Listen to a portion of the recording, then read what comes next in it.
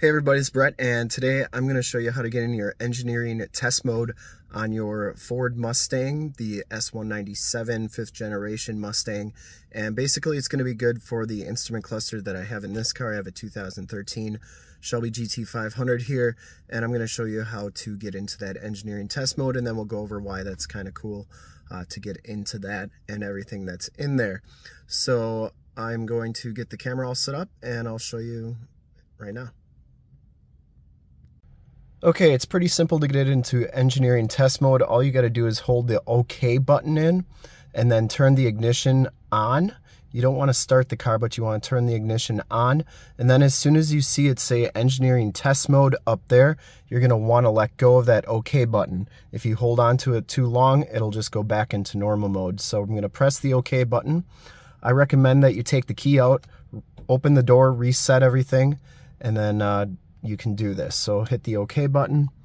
I'm going to get my camera set up here. Now I'm going to turn the ignition on.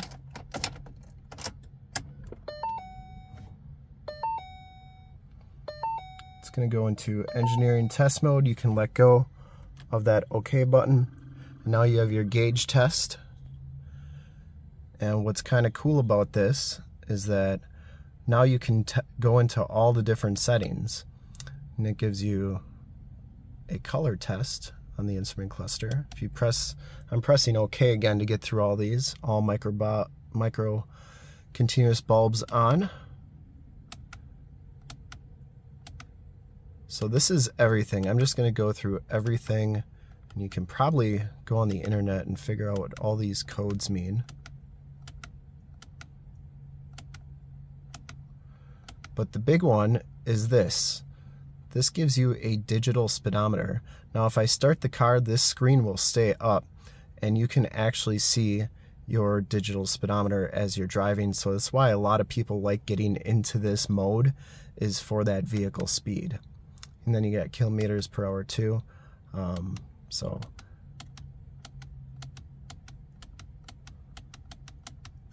that's everything that's through it. Then eventually you'll get back to the original modes here. You can see there's quite a few different things. There we're back to the color test. So that would be what, 4, 5, 6, 7, 8, 9, 10, 11, 12, 13, 14, 15, 16, 17, 18, 19, 20. 20 to get to the vehicle speed, approximately.